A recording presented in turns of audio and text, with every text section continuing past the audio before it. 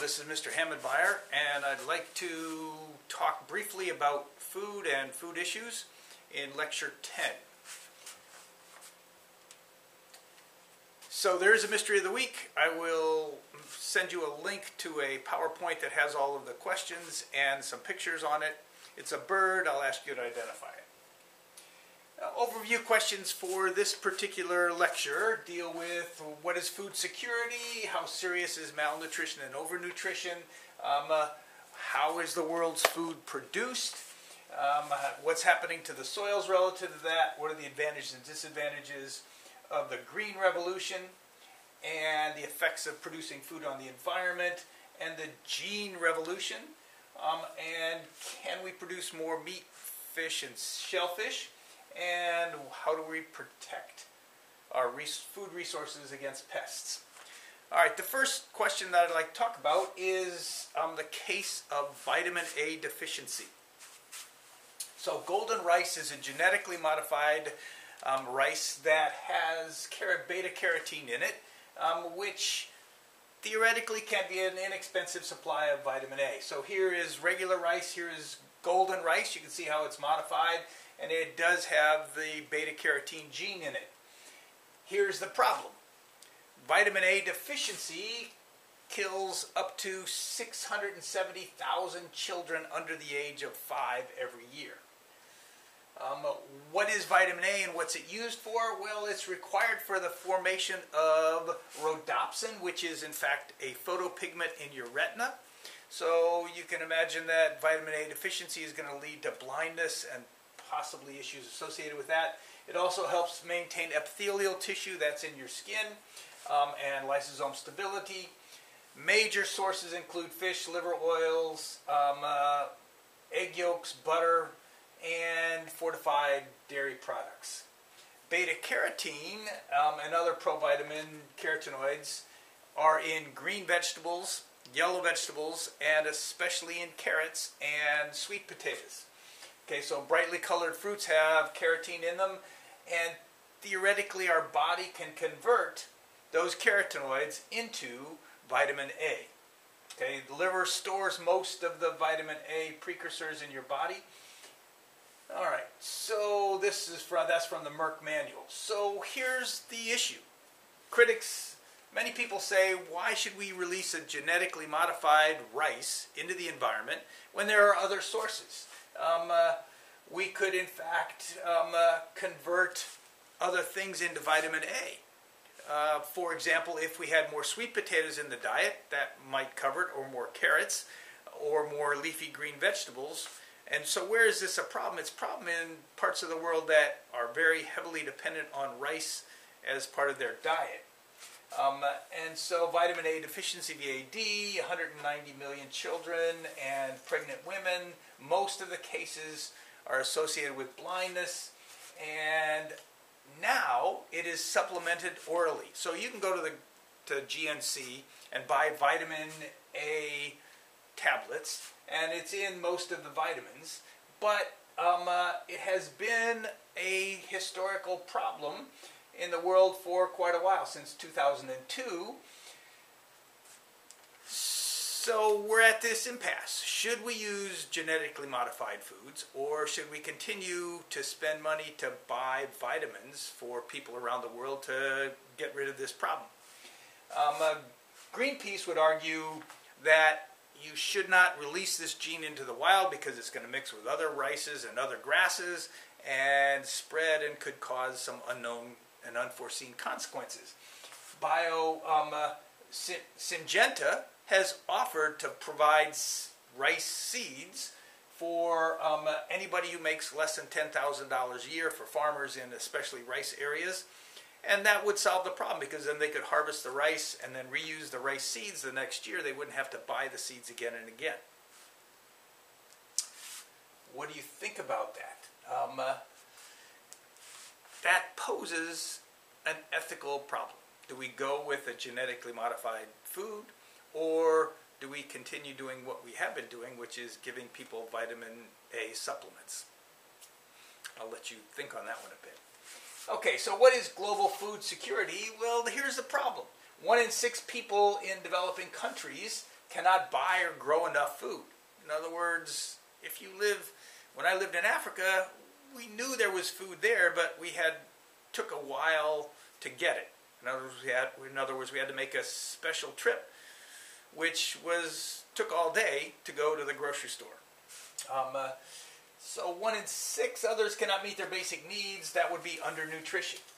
And so, what is food security? When you hear the term food security, what you really are meaning is, do you are you secure where your next meal is? When you go home, do you know that there's going to be a frozen pizza in the freezer, or some eggs to eat, or something to eat?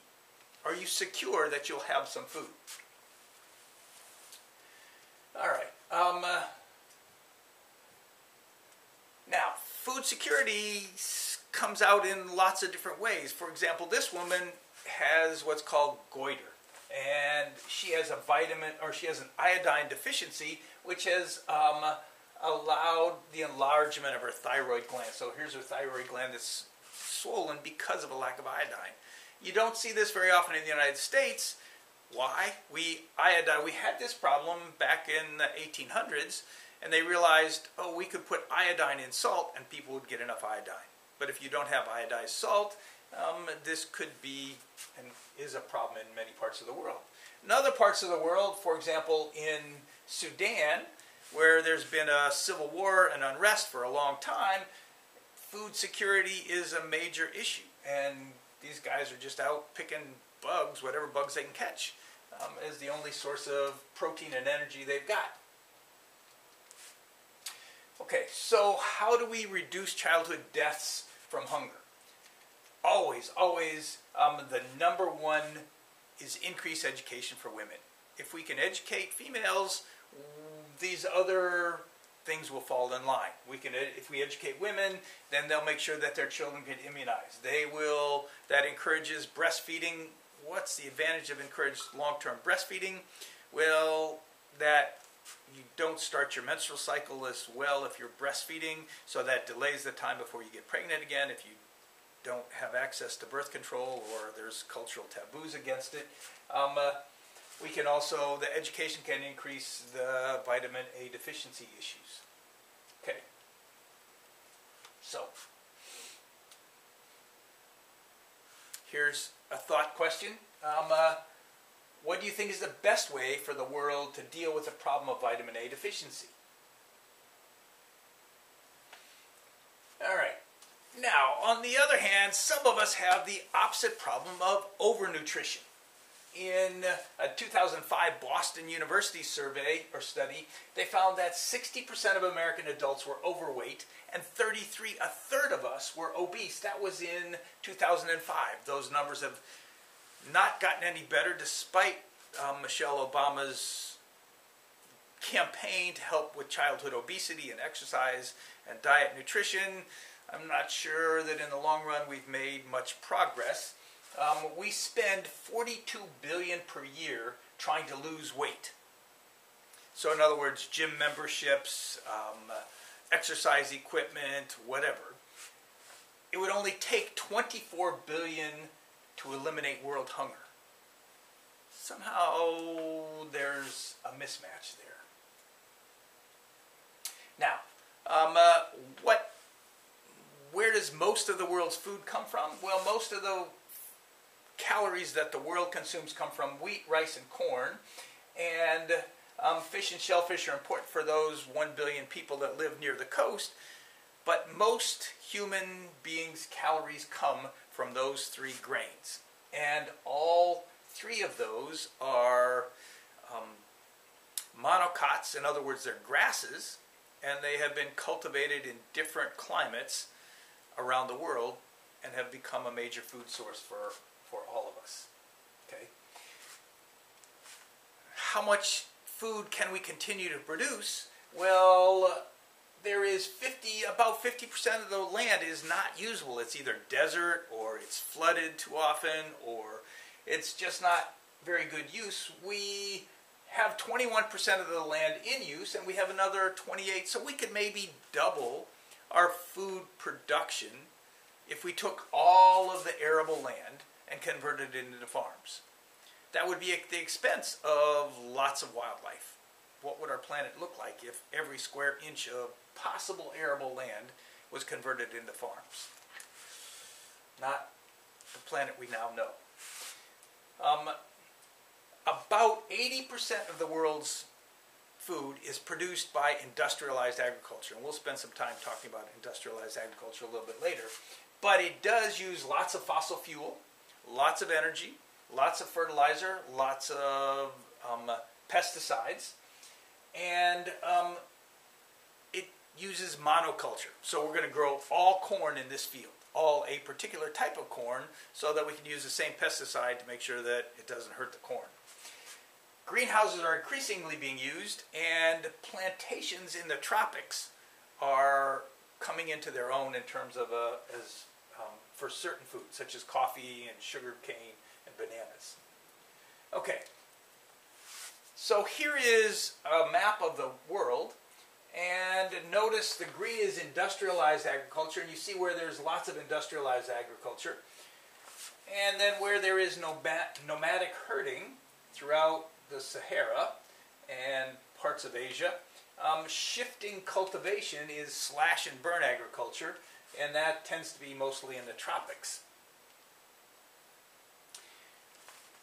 I mentioned a minute ago that greenhouses were becoming an important source of food. Notice here's a picture of 1974 on the left of southern Spain. So this is the very tip of Spain uh, near Gibraltar. And notice how green it is. And in 2000 on the right, it is now not nearly as green because it is filled with greenhouses. Why would there be strong pressure on the southern tip of Spain to have so many greenhouses? Well, think about just up the road are the markets of Germany and France and Italy. And this is this, one of the southernmost parts of this part of Europe, so therefore it gets lots of sun, warm temperatures. So they raise lots and lots of food that is then shipped off to market to Paris or to Berlin so it's quite profitable. Industrial food production in high input monoculture, so we raise lots and lots of soybeans and lots of corn. Well, where does most of that, do those soybeans and corn end up? Not necessarily in human beings, but more importantly in uh, livestock. So we feed it to the cows and the pigs, and we eat the cows and the pigs. That's not a very ecologically efficient way to do things, but it's economically quite acceptable. Okay, we'll skip through some of this.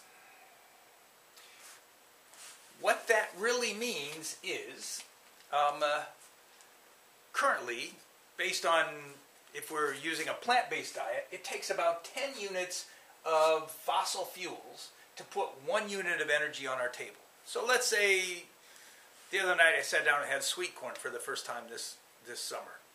So the sweet corn, I got however many calories, maybe 400 calories from the sweet corn. But it really took 10 times that much, or about 4,000 calories, to put that one ear of corn on my table. How long can we continue to go into a deficit of 10 to 1? The United States, um, about 17% of its um, economic output is, is agriculture. And notice where the industrialized agriculture goes. 4% to raise the crops, 2% to raise livestock, 6% for processing, and 5% for transport. So out of that 17%, 11% of it is just in getting the food from the farm to your table. We need to rethink that system. Um, there are in the tropics some other methods of agriculture besides high input industrialized agriculture, such as polyvarietal intercropping and polyculture. And in this case, here you have corn growing with beans. The advantage is the beans are nitrogen fixing, adding nitrogen to the soil. The corn is sucking it up. Corn is terrible at removing nitrogen from the soil. So there needs to be some way to replenish that. In North America, we would tend to just fertilize the heck out of it.